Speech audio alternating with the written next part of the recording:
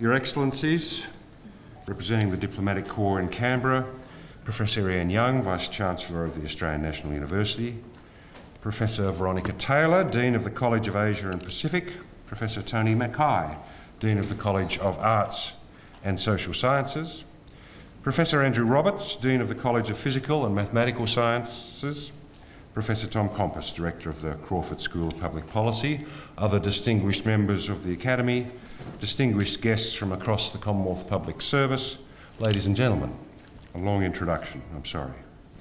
Good evening and welcome to this very special event, the valedictory address by Professor Michael L'Estrange AO, Head of the National Security College of the Australian National University. As part of this welcome, can I also acknowledge and celebrate the first Australians on whose traditional lands we meet, and pay my respects to the elders of the Ngunnawal people, both past and present.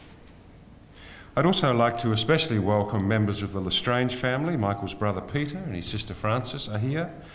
Michael's wife Jane and two of Michael and Jane's five sons, Edward and Harry. Welcome to your special welcome. Just so that we all know the procedures, proceedings for the evening, in a moment I will introduce the Vice Chancellor, who will say some words of welcome and introduction. I'll then ask Mr George Brennan, uh, one of the senior members of the National Security College, and importantly a secondee from the Commonwealth Public Service, to reflect on his period of working with Michael uh, and the leadership impact that Michael has had on the college. George will then introduce Professor L'Estrange and he will then deliver his valedictory address. At the conclusion of the address, I will ask Dr. Margot McCarthy, the Associate Secretary National Security within the Department of the Prime Minister and Cabinet, to respond. And after that, I'll close proceedings and we'll move to the Springbank Canberra rooms for a reception, but more on that later. For now, may I introduce to you and ask to speak the Vice Chancellor of the Australian National University, Professor Ian Young. Well, uh, thank you, and uh, on behalf of the University, can I welcome uh, all of our visitors here. The National Security College was founded in 2010 as a joint initiative between ANU and the Commonwealth Government. In the years since, it's gone from strength to strength and continues to enjoy remarkable support from uh, the participants are involved in the program, from the agencies and departments that support it, uh, and of course, uh, more recently, from its academic students involved uh, in its master's and academic programs. There are presently over 100 students in those graduate programs, which have been operating for only a very short period of time, uh, and more than 2,000 Commonwealth officers have attended a short course of one sort or another at the NSC, uh, some of which, in fact, involve more than 200 hours of teaching. These are really quite impressive numbers for what is a very young institution. And the success, I think, of the NSC um, comes down to a, a number of really significant issues.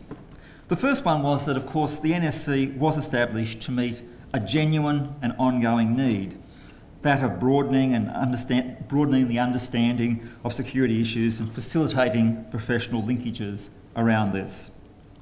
The NSC also has worked really assiduously under Michael's leadership to understand and respond to the practical needs uh, of national security practitioners, uh, both in terms of its teaching activities, its short course activities, uh, and more recently in terms of its research undertakings as well.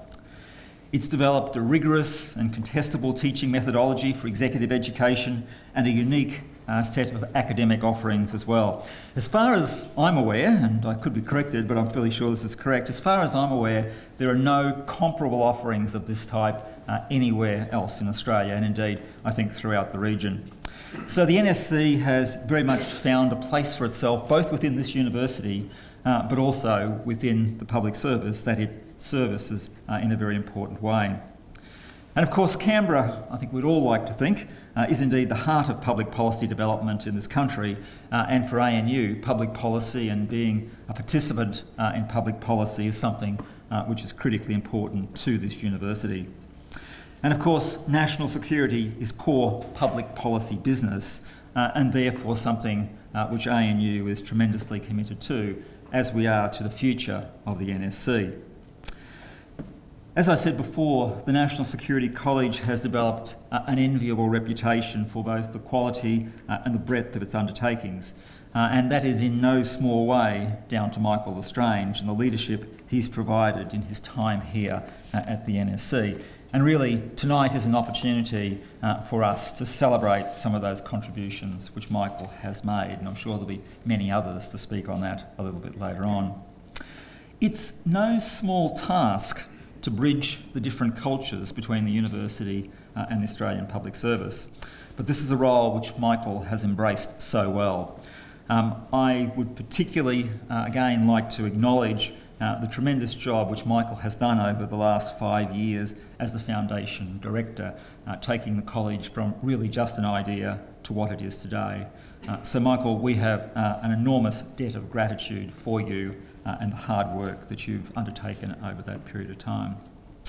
And so, just as I have very much enjoyed working with Michael over the last four years, uh, I and I'm sure the rest of the audience uh, look forward to hearing his comments and discussion this evening on sustainable excellence in education and public policy making in this country.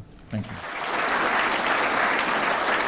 Thank you, Vice Chancellor. Can I now call on uh, Mr George Brennan, as I said, one of uh, the senior members of the National Security College and also a secondee from the Commonwealth Department of Infrastructure, to reflect on his period of working with Michael uh, and particularly on the leadership impact that Michael has had on the college. George. I first met Michael when I came to the first senior executives course that the college run. There had been a pilot course, but this was the first SES course proper. So that was in 2011. And then subsequently, an opportunity came to come work at the college, which I, I snapped up. Um, in no small measure because of the opportunity um, or the, the, how I'd enjoyed working with Michael on the course. Um, and obviously, he'll make his own remarks about the NSC journey, but um, he was involved, as the Vice Chancellor said, in, in shaping what the NSC was and could be. Um, there was at one point a rather grand vision for the NSC, which in a way, fortunately, didn't come to pass. I mean, you can only imagine when we think about the budget journeys we've all been through in the last few years, um, how that difficult it might have been if that rather grander vision of the NSC had been attempted. Um, and I think that tells you something about Michael's leadership style. And talking a, a, bit from an insider's perspective of the NSC is what I thought I might do this evening. Now, he brings a sense of history and perspective. Um, and more substantially, that's reflected in things like the Miller Round Tables, which celebrate Professor Miller, um, and the naming of the G.J. Yeend wing um, in this Crawford building, which we occupy, reflecting that's another piece of shared history between the Commonwealth and the university. Um, he's always looking to balance forces of continuity and change and the long trends of public policy. And he's always got an eye for relationships and the consequences of relationships. Um, so those are themes about Michael's leadership style that we sort of enjoy in the NSC. An early decision he made was not to promote the NSC too heavily before we'd actually proven what we'd got.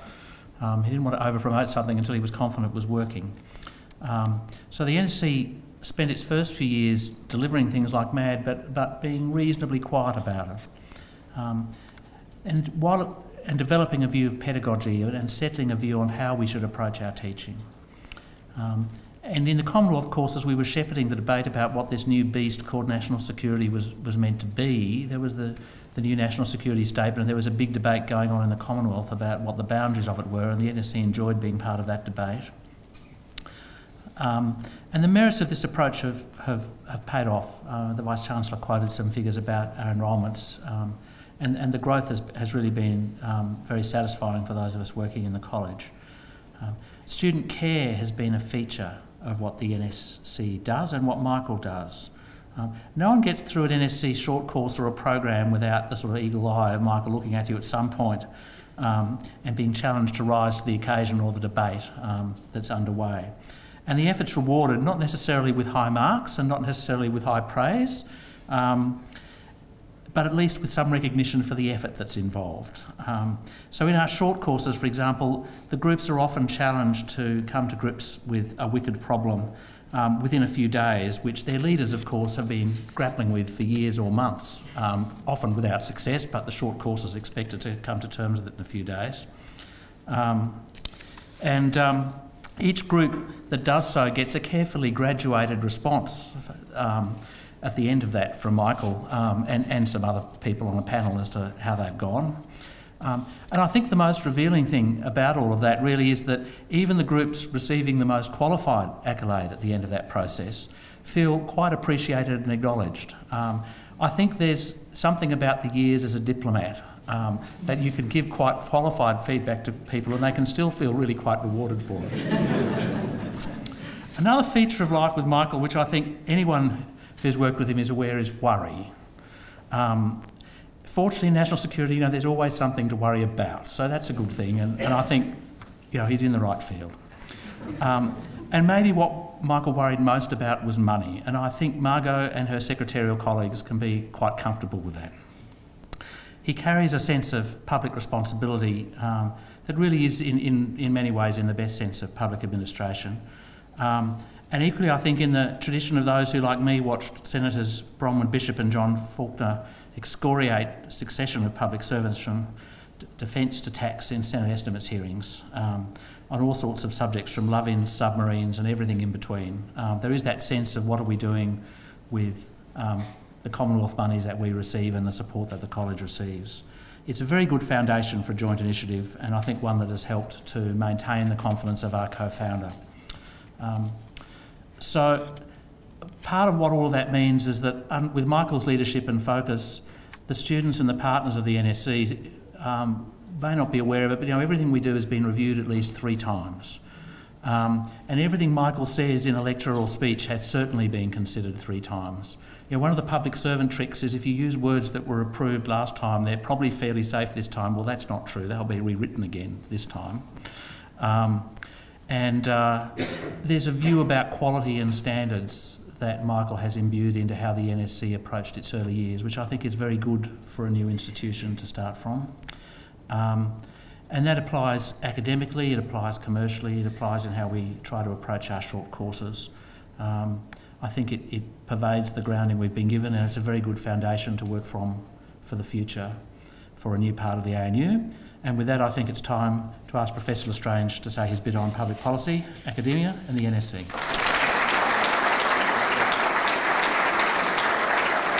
Your Excellencies, Vice-Chancellor, distinguished guests, ladies and gentlemen. Uh, firstly, thank you very much, Vice-Chancellor, for your generous remarks. Um, they're greatly appreciated both personally and institutionally. And thank you, George, for your insiders, insights into how the NSC actually works. Um, my right of reply on that one will await, but not today. uh, at the outset, can I also thank all of you for the effort that you've made in, in being here this evening. You bring together a broad cross section of different groups which have provided indispensable support to the National Security College in its establishment and consolidation phases over the past five years. Here this evening are many current and former members of the College's Advisory Council that has played a vital role right from the start.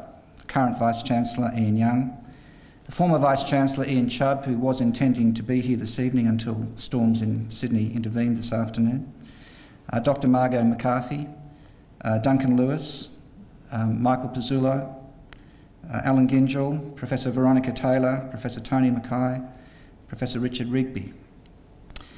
There are also many senior officers here from the agencies and departments of government with which the college has worked so closely over the past five years, and I thank you all for your presence this evening at a particularly busy time of the year.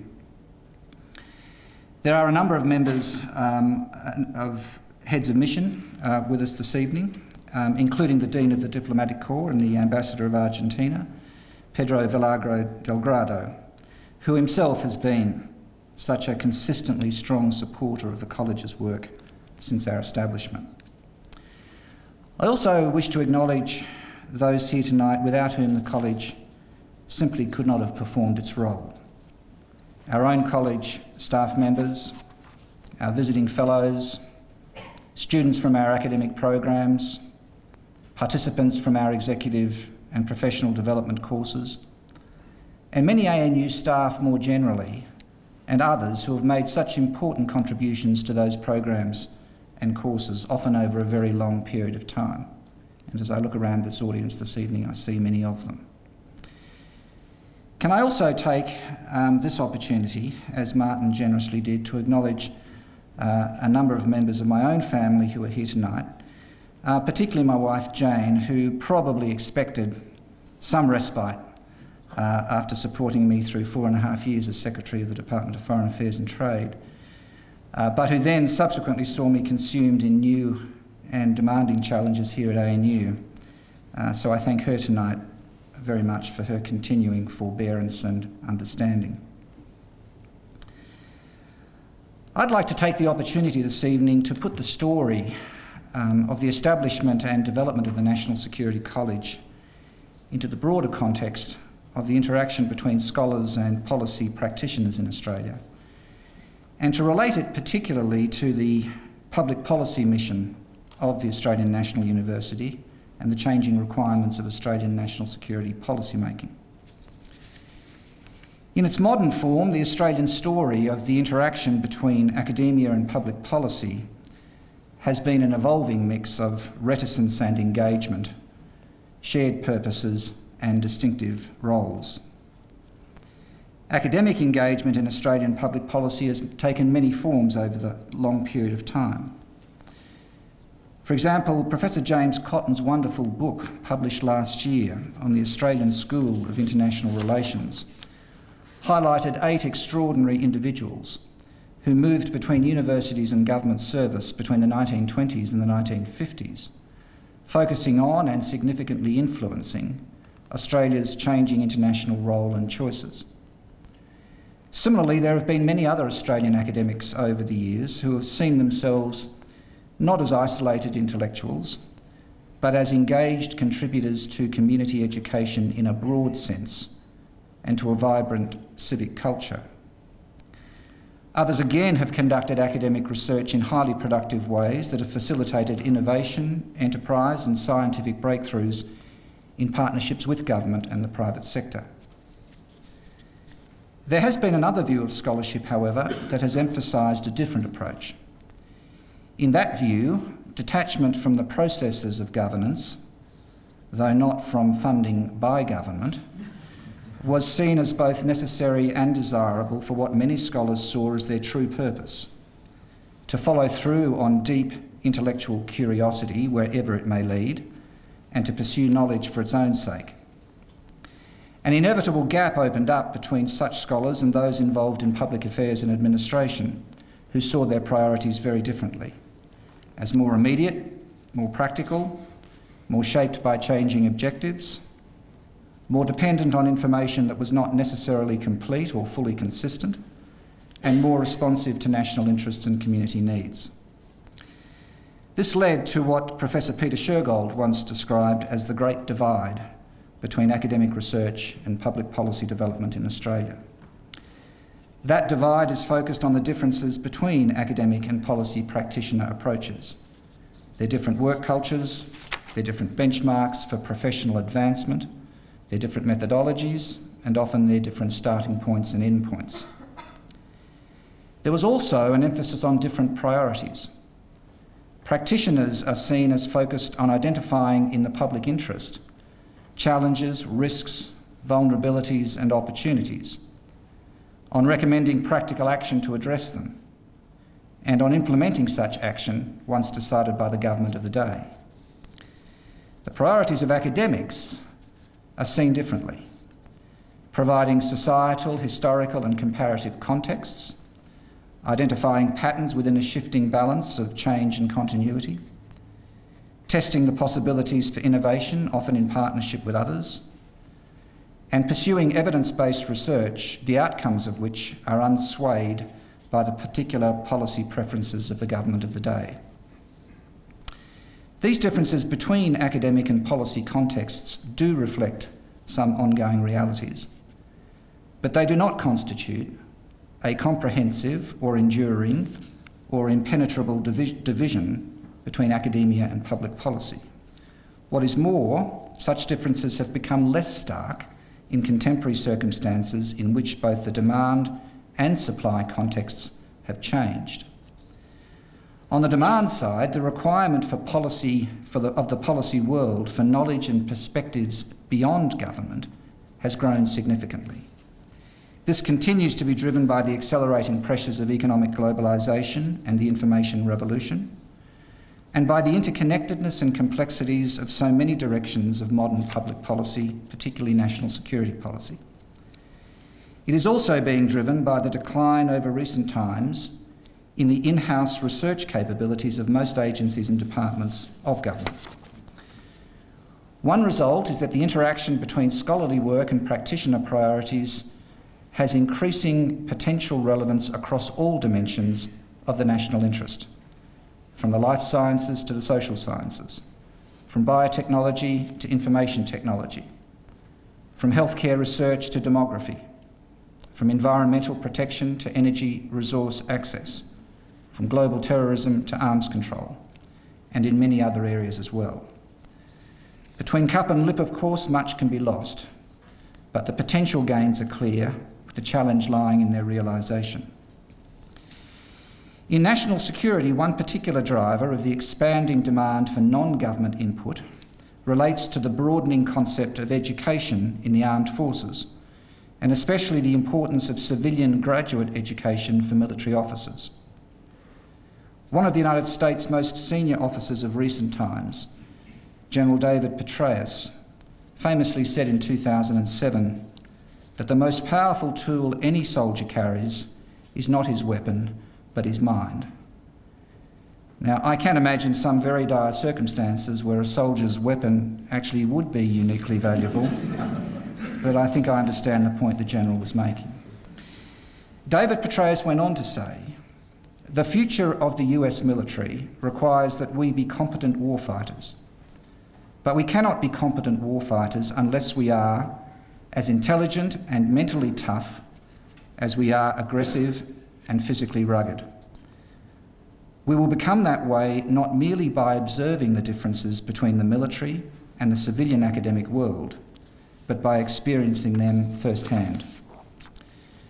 The compelling logic of this approach has been implemented extensively over time in the United States uh, and in many other countries as well. And it resonates particularly strongly in the outlook and practical, practical commitments of the Australian Defence Force, with which the National Security College, along with other areas of ANU, has such strong ongoing connections. And I'm delighted this evening to welcome the Chief of Army here. So, demand on the part of those in government or serving governments of the day for non government knowledge and perspectives is certainly growing. The supply of policy relevant and capability relevant knowledge is also growing. Universities, of course, are one such source of supply, but only one. There are many others in think tanks, in professional bodies, in non government organisations, in consultancy companies, and in other entities comprising knowledge brokers committed specifically to providing what is now called analysis for action. In a wider sense, the potential sources of knowledge are growing exponentially, facilitated by what Professor Glyn Davis described in his 2010 Boyer lectures as a global, digitised, and increasingly open republic of learning. Furthermore, these sources of knowledge supply are delivered through proliferating means, from books and journals to websites and blog sites, from print and electronic media to social and new media.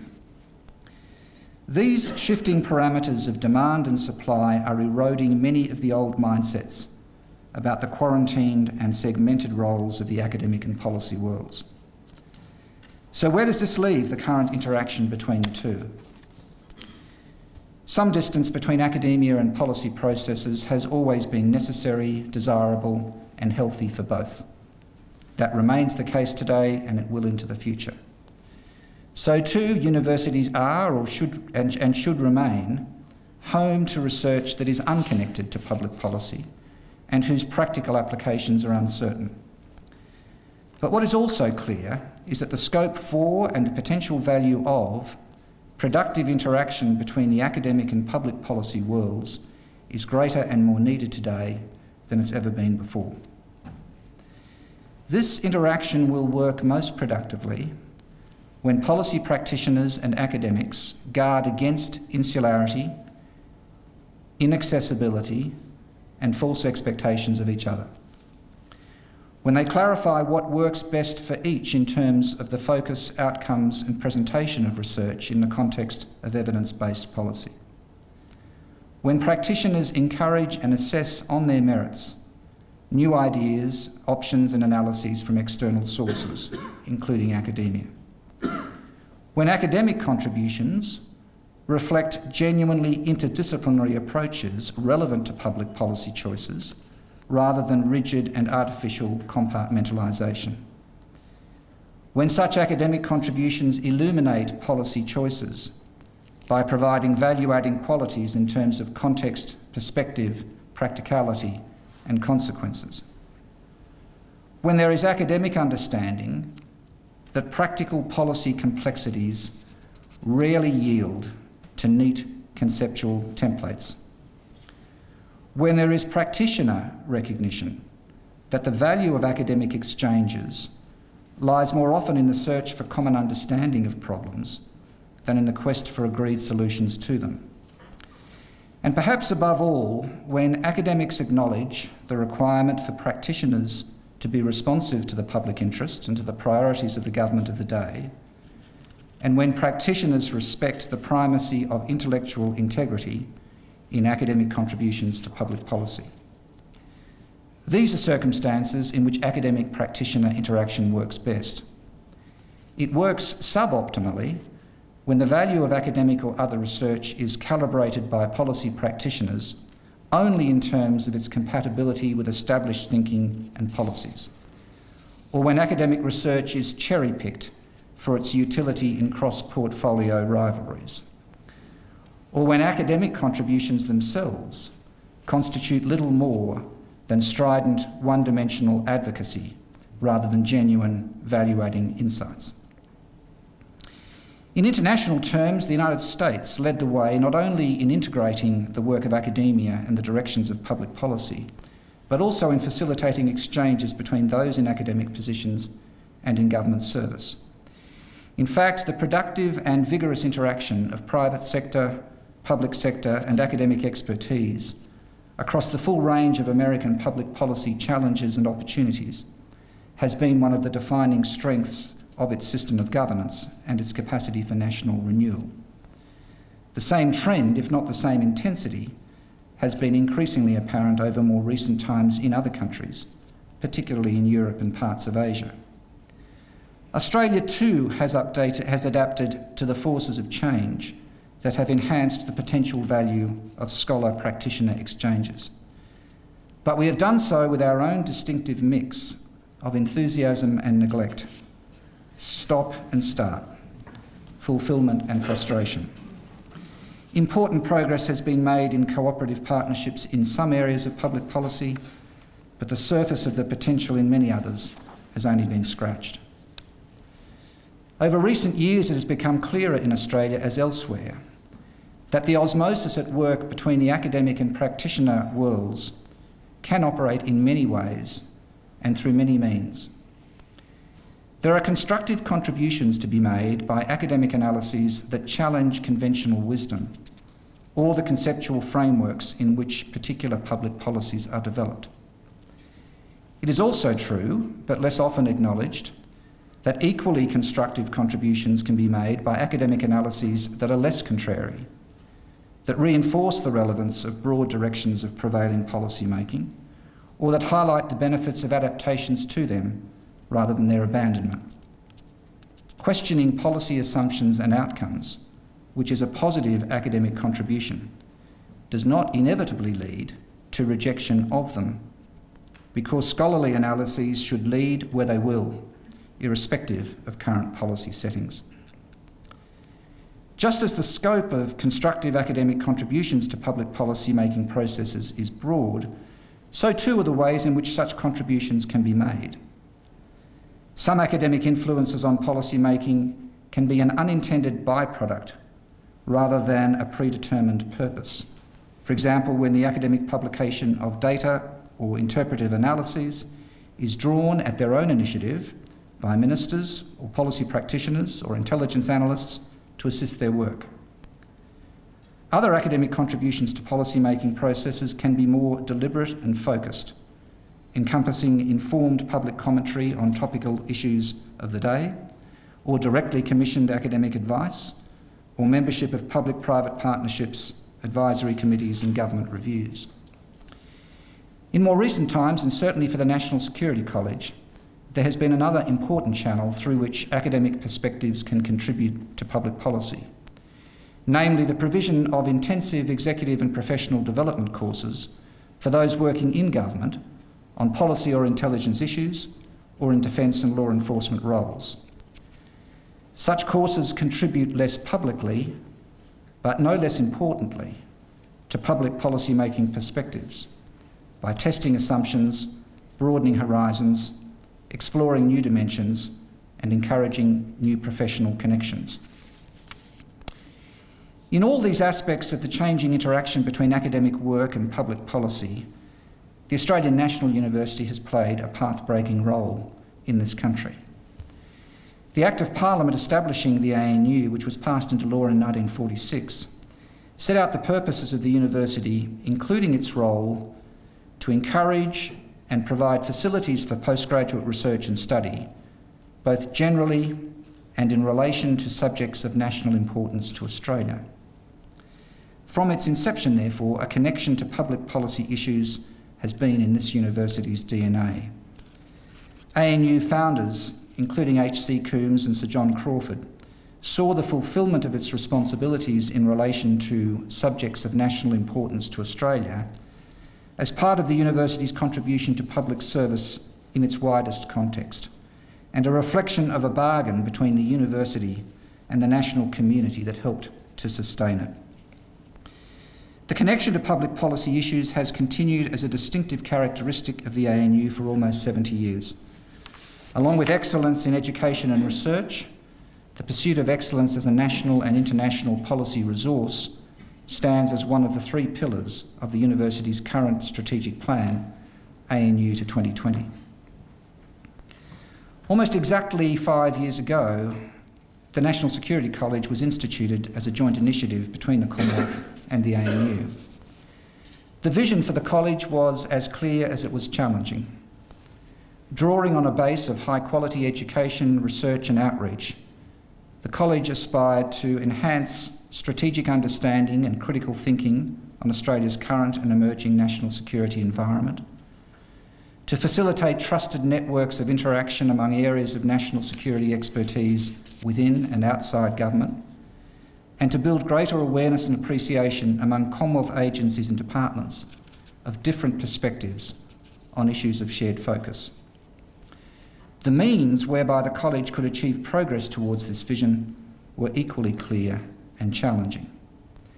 They lay in a commitment to open intellectual exchanges and shared professional experiences, the pursuit of best practice teaching and research on national security issues as part of the college's academic program, the development of a tailored range of programs in executive and professional development for officers of the national security community in government, the promotion of a contested learning environment built on broad and trusted relationships, and the implementation of an active outreach program to engage the perspective of the states and territories, the private sector, non government organisations, and the wider community on national security issues.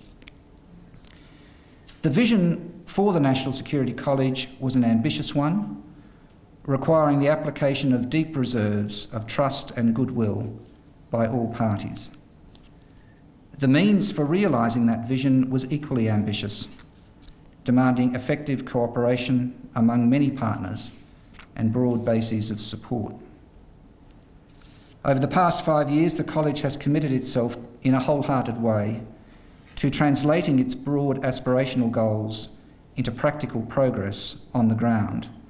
And this is reflected in the degree programs, the executive programs to which the Vice Chancellor referred. This progress over a relatively brief period of time has been made possible by many factors. One was the vision and commitment of those who, at its inception, saw a college such as this as being in the national interest as well as being supportive of the purposes for which this university was established. And I'm thinking in that context particularly of the then Prime Minister, Kevin Rudd, the then Vice Chancellor, Ian Chubb, the then National Security Advisor, Duncan Lewis, and the then Deputy National Security Advisor, Angus Campbell. That vision and commitment have been sustained over time. They've been reflected in the strong support and encouragement that the College has received from Commonwealth agencies and departments, as well as the productive and developing partnerships that have been built within the university. The College's progress also owes much to the commitment and hard work of its small staff. They have been part of implementing a big and bold idea, a task that demands resilience as well as creativity, activism as well as endurance, faith as well as hope. NSC staff have shown all those qualities and many more over the years, and what has been achieved by this college is a reflection of their dedication and professionalism, for which I thank them. As ever, the National Security College needs to look more to its future than its past. As I've said on many occasions, this college is only as good as its next executive development course, its next academic semester, its next research output, its next outreach activity. The college should approach these challenges confident in the knowledge that the convictions and purposes which inspired its establishment five years ago remain even more relevant today. Australia's national security opportunities and challenges are increasingly interconnected among political, military, diplomatic, economic, technological, societal, and demographic developments. That interconnectedness demands policy responses which effectively coordinate the different perspectives of Commonwealth agencies and departments, the various layers of government in Australia, as well as the private sector, non government organisations, academia, and the wider community. In this context, the College's work to facilitate trusted networks linking areas of national security expertise within as well as outside government remains more relevant than ever. In addition to being increasingly interconnected, the national security opportunities and challenges that Australia faces are also increasingly complex and contested correlations of power among major states are changing. Concept of national security in Australia is evolving. Older demarcations between domestic and foreign policy priorities and between public sector and private sector responsibilities are changing in important ways. The balance between community security and individual rights is being recalibrated. The interaction between national security policy aspirations and resourcing capabilities is shifting in an era of fiscal constraint. In the context of these and other challenges, the College's role in enhancing strategic awareness and critical thinking has even greater potential resonance. The College has special ongoing responsibilities as a joint initiative of the Commonwealth and the ANU. It needs to be responsive to national security policy making priorities and requirements and it also needs to safeguard the university's standards of excellence in teaching, research, and intellectual integrity.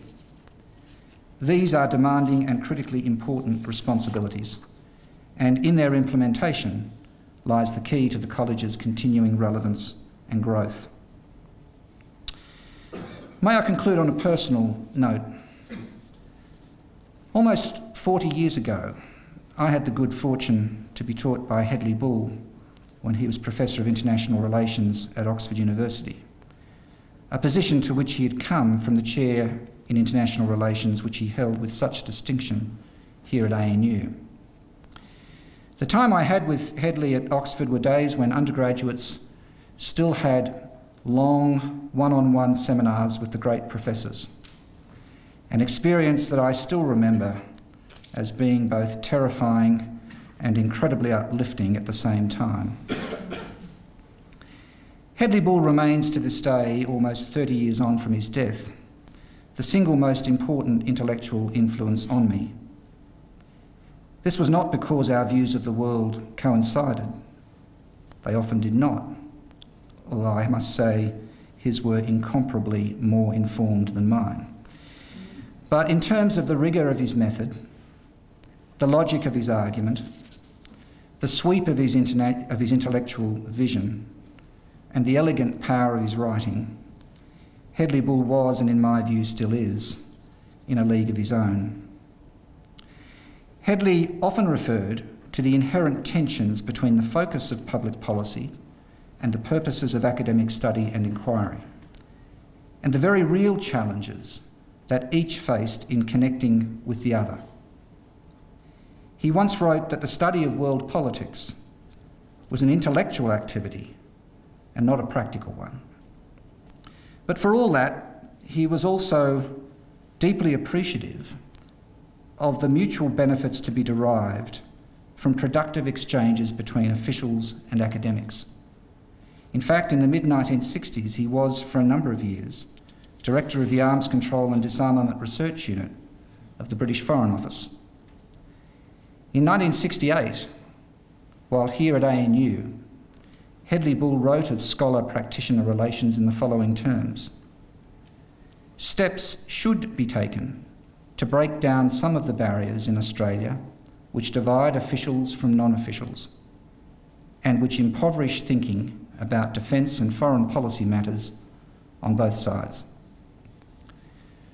Over four decades later, I'm very proud to have had the opportunity to be a part of such steps being taken through the work of the National Security College. Steps which, in my view, contribute positively to public policy processes, which are attuned to the new possibilities for scholar practitioner relations, and which complement the work of so many others in pursuing this university's historic mission and ongoing priorities. The National Security College has come a long way in five years, and it now has the capacity to achieve even more in the future. I'm sure that with sustained goodwill, strong partnerships, and productive hard work, it will do so. Thank you.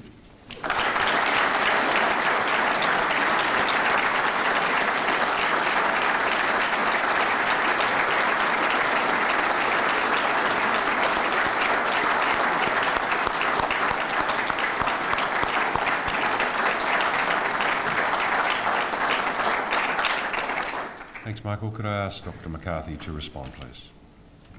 Your Excellency, Vice Chancellor, friends and colleagues, it's a real honour and privilege to play a role in farewelling Michael this afternoon, and even more so to thank him on behalf of the Commonwealth for all that he's done to take the National Security College from a bare bones concept to the substantial institution that it is today. Over the past five years, the College has become an established and successful part of the academic life of the ANU and the professional life of the national security community. So it's very easy to forget that when the joint venture between the Australian Government and ANU was announced in 2009, an institution of this kind, at least in the Australian context, was something entirely new. And as the Vice Chancellor has said in his remarks, it's still very much one of a kind. No one should underestimate the challenge that Michael took on. He was asked to set up both an academic program with a distinctive national security focus and the really new part, a dedicated executive and professional development program that would, in the words of the then Prime Minister, better prepare national security personnel for the increasingly complex challenges they face. And those complexities are, of course, all too evident as we reflect on work being done across the Commonwealth and not only by national security agencies on everything from managing the risks posed by returning foreign fighters to developing options for a new submarine.